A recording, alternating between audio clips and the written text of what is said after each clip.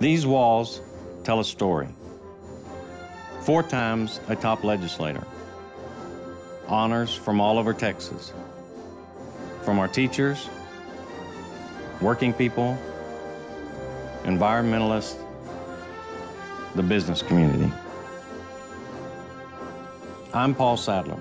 I'm proud of my legacy in the legislature, getting Democrats and Republicans to work together, making real improvements in our schools, the biggest tax cut in Texas history.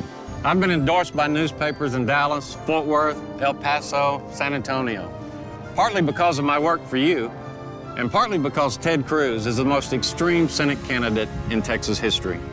Cruz and the Tea Party want to eliminate the Department of Education, costing Texas billions, cut student loans, destroy Medicare, and privatize Social Security.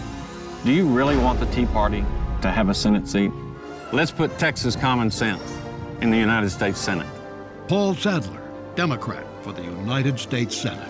I'm Paul Sadler, and I approve this message.